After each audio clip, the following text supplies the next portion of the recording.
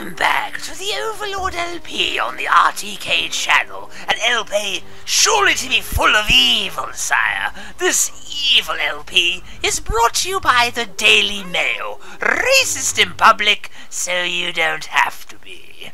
Yes, welcome back to us destroying things because we are the Minion Lord. Anyway, Uh, speaking of speaking of minions, I think we should just explain where the minion joke came from. yes. Um, I think back when we started talking Kari for the first time, she recommended this this game. And for example, um, Overlord One and Two were a part of the Kari Okami experiment back when the pre experiment first started off. For those of you who know, remember that stuff. Um, yeah.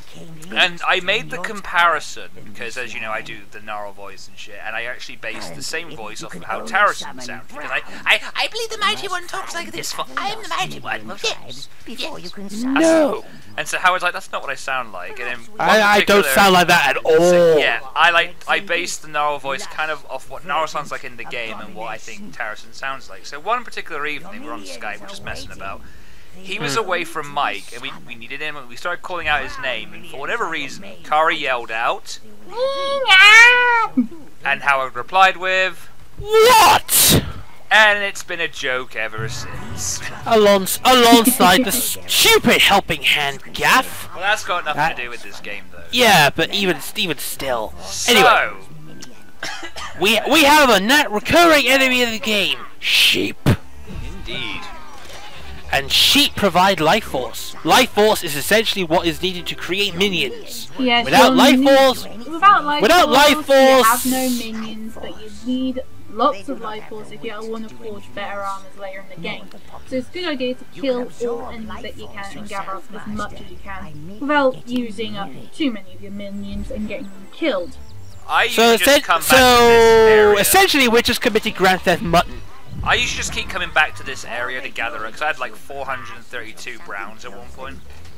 Uh, the best way to actually gather up loads of um, freaking life force, you actually get not long into the game, but we'll be seeing that a lot later on when. And I'll I'll be technically showcasing that off as well. Just maybe the one time to show you the method. And that's really much to be it. Also, th- this game has a horrible habit of having minions getting stuck to fucking things like walls. like Yeah, sometimes like the min- like I'll have like four, like 30 minions with me and they keep saying 27. Like where's those three gone? and it, it's an annoying fucking pain to actually go through. Also, minions can equip armor themselves, which is a big, huge step up from fucking Pikmin. Oh, Because they suck. I'm gonna just just point out one sick thing I'm gonna do with this game. There's a town we're gonna find later on called Spree, and I like to keep going there and mercilessly killing every single person in the village. And I like to pretend that they basically, when I take their life force, put it into the uh, the minion hive, they turn into the minions that do my bidding. So yeah, essentially, spree. James, what you mean is we're going on a killing spree? Indeed. Ugh. I made that joke on Skype and Kari told me to go fuck myself. Revenge for all the point. But to be fair, that joke, that joke is still funnier than anything the WWE writers could come out with.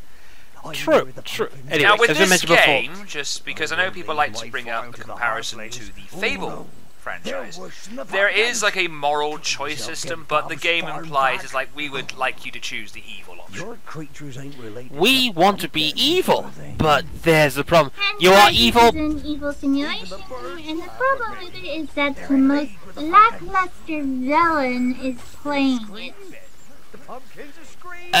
excuse me. For example, even though we're not going to see this in the LP, unfortunately, like if you just happen to, like, say this guy here, if we choose to kill him now, the next time we come back to the Spree area, the actual residents of the town will offer up their wenches for you to kidnap and take back to your Doom Fortress.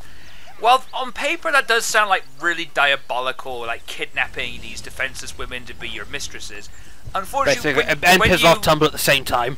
but unfortunately, when you get them back to your, your castle, they don't really do anything. They just kind of just wander around and say the same, same sentence over and over again. Kari, would you like to demonstrate?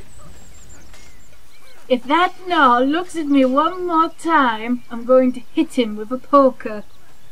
Doing all doing their best Daisy dumbass impression. which is a problem. Also, there are dis- as you probably may have mentioned, I So said just, that they just to round that up, it's like you can do that, but it's it- it doesn't really you, you can't really point them or anything. It's like it's just kind of pointless. Yeah, there's So, more for aesthetically pleasingness on the eye for if you're actually into that kind of thing with your overlord. But the thing is, like they don't Oh, do, they don't really do any. There's no like they're not like on their hands and knees scrubbing. They're not. They're, they're, like, they just walk around. That's all they do. It's like you couldn't just animate a couple of different things for them all to So do. No, you'll be hearing us make a lot of comparisons to the first game because the first, first game, the second game. Sec second So, guess. because the Well, I second game actually in, kind of enforces a lot of proper Yeah, evil don't talk so techniques. For example, the good option in this one is essentially the book standard. You either be nice to people while still going around destroying everything that you. Basically, you God. exploit you exploit the stupidity of this game. Yeah. Or you just go around killing everyone. In the second one, you have a choice of killing everything or using mind control to actually um, control them with your magic. Essentially, means in the second game you're still a complete cunt. Second one's Oh, way yes. superior as well. Don't we know that, James? Oh wait, you never beat it.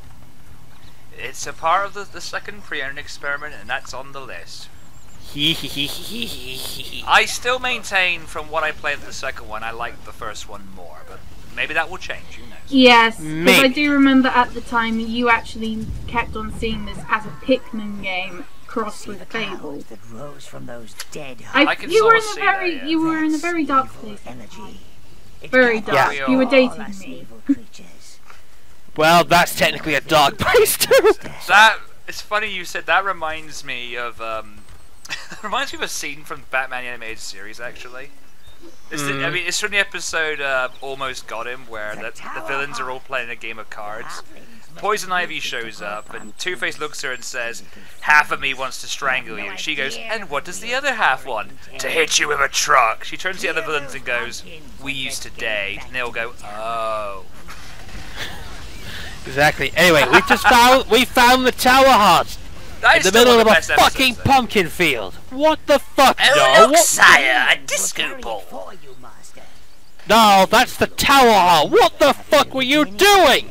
Oh, you see, sire, us, us minions have a... We like to party hard, sire. You lost a bet, didn't you? What happens in Mordor stays in Mordor, You young lost lady. a fucking bet. Suck my giant goblin sausage. You can tell the whole GS thing is going to be a fucking thing to be around. Anyway, we found a shortcut. Nothing at And they stay that way. Which is a good thing, unlike fucking Pikmin. Yep. I It's think. short. I thought we said we weren't going to keep bringing Pikmin. we can. Uh, we. Howard failed Uh, every time. You must remember Giblet. Giblet Giblet Keep is our Baldy. favorite minion. with. Yeah. Giblet, and there's Gubbin, Yeah, Gubbin, and there's Baldy. sack of fuss. Yes, there are a lot of And- fun, interesting um, names for all the minions that you can get. And to be honest, like particularly Giblet is one of my favourite minions. He gets promoted, sire. He does Yeah, indeed. We'll find. You never pass. In fact, that what's No. this I hear about you going to Back the zero belongs. corruption route? This is the heart of the tower. Well, sire. man, I'll explain further. sire, probably in please the next explain. part. I'll explain. If you go for zero corruption, you're basically exploiting the naivety and the, of the stupid fucking people that we're gonna meet. to all of the tower's Basically, if we get if we expose these people, we get more money. More money means more things to buy. More things to buy, more things to improve the tower. Also, the Tower Heart gives us a gift of 10 minions, which is David. Cameron would love you, sire. Probably. And also the Fireball spell, who is a robust fellow, might I add, who actually survived, thank God. Oh yes, the power to shoot pyrokinetic energy, sire. Truly worthy of an evil foe such as yourself. missing. Of course. Or like theirs. A crane would be Cocaine's a hell of a drug. Then we could clear the Coca- debris don't, don't you mean it. cocaine? Open up some room. Cocainum! Run, sire, go! Get to the chopper! And we can also hear Arnold comparisons as well. you are a fucking choir boy compared to me. A choir boy. Meena, shut up and stop watching In the fact, Dungeons I think and I need to find a that- duck. Bullshit. and What's something that? to pummel. I shall stay Now? here. That The heart will allow me to speak above your directly head. to That you, isn't sire. And the see here what what is it? you do. The Use white stuff, are you made of it? domain. If you aren't, I'll beat it out of you. I got that real quickly. Yeah, fuck off, it's Chester. Tickle me powder, unicorn horn. Tickle my Mate. giblets. Oh I didn't know you two were dating. I was talking to you, stupid. Anyway, let's get this out of the way. That's the end of this part. See you in the next one. Goodbye and fuck off. Yeah, what he said. And Bye. both of you burn. Bye.